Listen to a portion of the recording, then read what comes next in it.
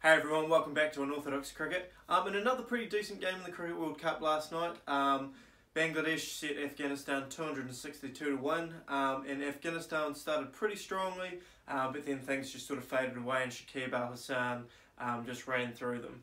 Um, now, what we want to do in today's video is I just want got a couple of topics um, that are going around in the cricketing world that I'd like to talk to you about. So, firstly, just Shakib Al Hasan and how fantastic he is at the moment. Um, he's going to be one of the players of the tournament definitely player of the tournament for me at the moment, um, but we'll come back to him. Um, secondly, a couple of issues around the New Zealand team and Kane Williamson um, regarding slow over rates. Um, thirdly, Andre Russell being ruled out of the World Cup with his knees, um, so that's a massive blow for the West Indians. Um, and the huge one, Australia versus England tonight. I know I spoke about that last night, but just a couple of points just to recap there. Um, and then we'll end the video by looking at the top run scorers uh, for the tournament so far. Now let's talk about Shakib Al Hasan. Yet again, he was instrumental in the win last night against Afghanistan, not only with the bat, but then second innings with the ball. Um, Bangladesh was struggling a little bit up top, and then Shakib came in, uh, looked certain as ever, and put 51 on the board before he got skittled. Um, and then in the second innings, what does he do? Comes in, takes 5 for 29 off his 10, um, and just wrapped the game up. Um, Afghanistan were looking promising before he came into the attack and then he just does what he does. Um, now, just looking at his tournament so far, easily the player of the tournament so far. 476 runs at an average of 95.2. To go along with that, he's striking the ball at 99 runs per 100 balls. This includes 200s and 350s. Now, that alone would qualify him as batsman of the tournament so far. Leading run scorer, great strike rate, 200s, 350s. Um, and averaging 95. I mean, what more can you really ask for from a, a number three bat? Um, but not only that, Shakib has 10 wickets at an average of 30, slightly on the high side, but the way the spinners have been going um, this World Cup, you'd take an average of 30. Um, but not only that, economy rate of 5.5. Um, he's sort of up there in the top three or four for economy uh, for bowlers for this tournament. Um, but I think if Bangladesh are to have any chance of progressing to the semis, Shakib is going to be absolutely massive part of that. Um, and unfortunate the way he started, he's really got to keep that up. Um, they can push through to the semis. They got they got a couple of big games against Pakistan and India, um, but you can't just rely on Shakib. He's going to need support from Mushfiqur, which he's had all tournament. But the big ones for me are Tamim Iqbal needs to step up. He's been on the scene for so long. He is a good player, but he just hasn't fired at this World Cup. Um, and then there's other guys like Soumya Sarkar who have proved that they've got that striking ability.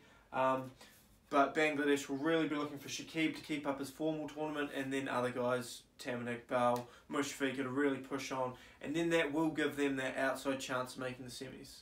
Now, next up, there's a bit of concern around the New Zealand team and mainly Kane Williamson. Now, in the game against the West Indies, Kane Williamson was fined 20% of his match fee for a slow over rate. Now, I can guarantee Kane Williamson won't care any less about the 20% of the match fee, but the big one, if he has another incident, he's going to get a match ban. Um, now, that'd be absolutely huge for the New Zealand team, especially coming into the later stages of the tournament when they've got some massive games on the line. Now, personally, trying to be objective, I am a massive New Zealand fan, obviously being a Kiwi, but to lose a player like Kane Williamson um, in the World Cup, for me, that just sort of ruins the competition a bit. Um, I wouldn't like Kane Williamson to miss out just as much as I'd hate to see Steve Smith, David Warner, um, any massive players, um, regardless of how much I like or dislike them. Um, I just want to see the best cricketers in action for this World Cup. Um, now, there has been a bit of talk in the media about New Zealand potentially playing two spinners to increase their over rate. Um, I can't see Gary Stead and Kane Williamson doing that. I think they're more likely just to be more uh, proactive about getting through the overs. Um, but then again, it's cricket, um, and there's some things that you just can't influence. Um, now, just something I thought of. Um, I don't know what the regulations and rules are um, slash morally around this topic, but what if New Zealand were to give the captaincy to someone else for the next few games? Um, all they need to do is toss the coin. Kane Williamson can still control things on the field. Um, but yet again, I don't know how the ICC would look at that. I don't know morally um, how that sits. Um, but yet again, I just don't want to see good players missing out on this World Cup because of slow over rates. Um, I hate slow over rates. I love a good game of cricket that's played quickly, but at the same time, it's cricket. You're there for six, seven hours watching anyway. Um, an extra 20 minutes so captains get things right. In a World Cup, is that the end of the world? Is that worth getting rid of big players, Williamsons, Finches, just and really putting that on the captain? I don't personally don't think so. Um, but let me know in the comments what you guys think. Um, if there are any rules around changing a captain, there was nothing that I could find. Um, and what you guys think morally about changing captain just for the sake of the coin toss. Now, massive news overnight Andre Russell out of the World Cup. Now, that's an absolutely devastating blow for the West Indies, just knowing what he's capable of. So far in this World Cup, he's taken five wickets at an average of 20, but he's only bowled the 19 overs, um, and that's purely just because of his bad knees. Um, now, it's a real shame, as you can see, he is a wicket taker, um, and that's going to be a massive blow for the West Indies. With the bat this tournament, he has been a little bit disappointing. He's only scored the 36 at an average of 12. Um, but if we take a look at his IPL 2019 performance, um, we can just see how much of a massive loss he is for the West Indies. So in the IPL 2019, he scored 510 runs at an average of 56. But the big thing here is he scored those runs at a strike rate of 204. Now that's the kind of player who is going to win you games in this World Cup. He's going to tear bowling attacks apart, um, and he's just going to influence the game like no one else can. So for me personally, I think Andre Russell's a huge loss. I know his tournament hasn't been great so far, but just knowing his reputation, it's just massive for the West Indies. There's no way they can replace a guy like that, um, and that's going to make their push for the semis so much tougher. Guys like Gayle, Hetmyer, Shai Hope, um, Jason Holder, they're all really going to have to step up. Um, and just hope like how guys like Braithwaite can come through like they did against New Zealand. Now, as I spoke about last night, I'm absolutely fizzing for this England-Australia game tonight. Um, two of the form teams going head to head. Um, from my opinion, two of the most devastating opening bowling attacks versus two of the best uh, opening pairs going around. Um, obviously, England missing Roy, but Bairstow, Finch, Warner, three of the best openers you'll find going around in this tournament. Um, now, something I forgot to mention last night, if England lose this game to Australia tonight, it's really putting the pressure on um, for their India and New Zealand games.